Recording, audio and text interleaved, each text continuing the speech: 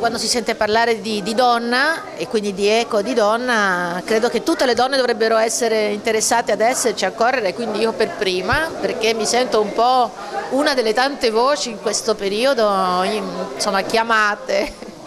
e, e, interessate. Quindi insomma sono qui per questo, anche perché mi piace anche l'idea che dietro ci sia, dietro questa rassegna ci sia Chiara Raggi che è un'ottima musicista della, della nuova generazione che io ho avuto già modo di ascoltare, apprezzare e premiare quindi per questo appena lei mi ha invitata io sono corsa per essere nel ruolo addirittura di madrina e, quindi il mio augurio è che la canzone d'autore al femminile anche grazie a rassegne come questa abbiano un futuro migliore, più semplice, più sempre in discesa e mai con difficoltà come purtroppo in questi ultimi tempi è stato fatto notare. L'organizzazione della rassegna che vede cinque appuntamenti tutti a ingresso libero da sabato 29 giugno con la cantautrice italo-greca Marina Mulopoulos fino a sabato 20 luglio con la cattolichina Crista ha fatto di tutto per poter tenere il concerto che è stato poi rinviato a venerdì 19 luglio. Ci sono io al pianoforte e alla voce ovviamente, c'è Sasà Calabrese al basso e Roberto Guarino alla chitarra e sono dei musicisti che mi accompagnano da tempo sia nel live che nelle produzioni discografiche che faccio. Farò ascoltare intanto tutto il mio repertorio più conosciuto, quello che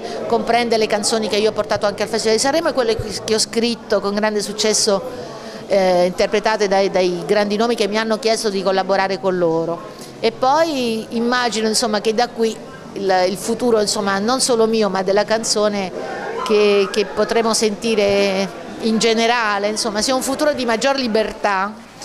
perché è un po' stata appaltata ultimamente la musica, no? E quindi insomma mi piace scardinare queste catene e aprirgliele e anche da qui, anche grazie a questa rassegna, anche questa sera farò questo appunto, dirò che la musica deve tornare ad essere libera e lo farò